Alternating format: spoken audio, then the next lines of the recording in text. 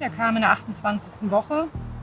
Und da war schon klar, dass irgendwas nicht stimmt. Und die haben dann auch sofort äh, ja, das Kind von oben bis unten untersucht und haben dann auch festgestellt, dass er beidseitig halt starke Einblutungen hat.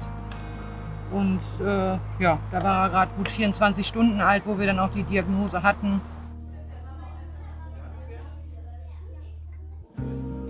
Uns wurde gesagt, dass unser Sohn nichts können wird, außer liegen und hört sich mal fies an und sabbern. Er kann laufen, er kann sprechen, er kann reiten. Ne? Aber es ist halt ein harter Kampf, das sehen die Leute halt natürlich nicht.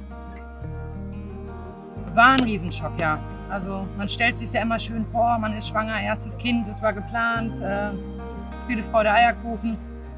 Und bis dato hatte man halt auch nichts festgestellt und die Schwangerschaft war unauffällig und dann kam der große Hammer und man stand da so und es konnte einem ja auch keiner was sagen. Und das ist jetzt ja auch was, da gehst du nicht zum Nachbarn, die auch alle Kinder haben und sagen, ey du, ne, wie war es denn bei euch? Weil das hat halt nicht jeder.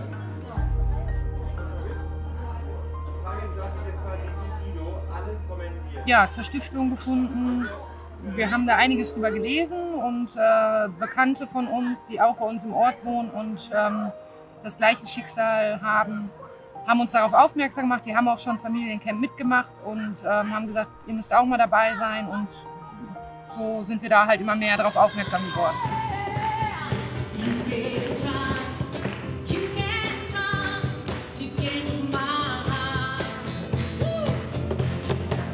Wir hatten gerade einen tollen Familienurlaub. Wir probieren uns schon immer so, wenn das Kind im Bett ist, äh, auch Zeit für uns zu nehmen und viel zu reden. Das tut uns einfach enorm gut. Und da haben wir auch gemerkt, ich glaube, wenn wir nicht über alles so viel reden würden, gerade auch was Sam betrifft, ähm, äh, da gehen einfach auch viele Beziehungen dran kaputt. Aber das Reden, das hilft uns ja doch.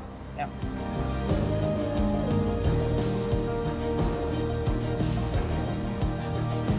Es ist einfach wichtig, darüber zu reden und das gemeinsam zu entscheiden. Ne?